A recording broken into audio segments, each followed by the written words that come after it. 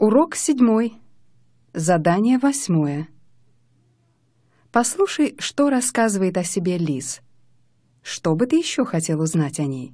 Расспроси ее.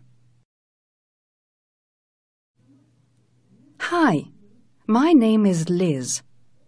I am from America. I am nine. I've got a sister. Her name is Anne. She's five.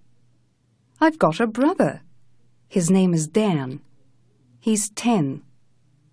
We've got many toys. Anne and I like to play with dolls. Anne doesn't like to play with cars. Dan likes to play with robots. He likes to play computer games too. But he doesn't like to play board games. And you? Have you got many toys? What toys do you like to play with? What do you like to do at home?